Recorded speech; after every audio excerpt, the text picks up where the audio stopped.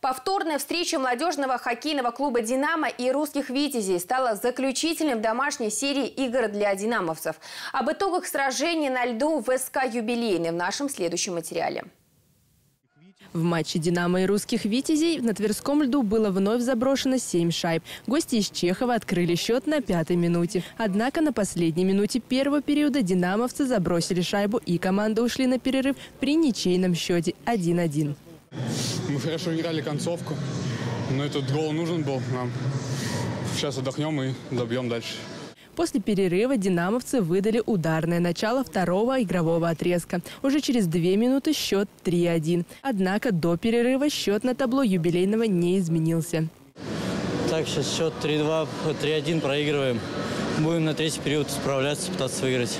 В начале заключительной трети русские «Витязи» сохранили боевой настрой. Однако после четвертой пропущенной шайбы гости поплыли. Конечный счет 6-1. «Динамовцы» завершили продолжительную домашнюю серию, итогом которой стали пять побед в восьми матчах. Следующая игра в СК «Юбилейный» состоится 9 октября между «Динамо» и «Звезда» из Москвы. Начало в 19.00.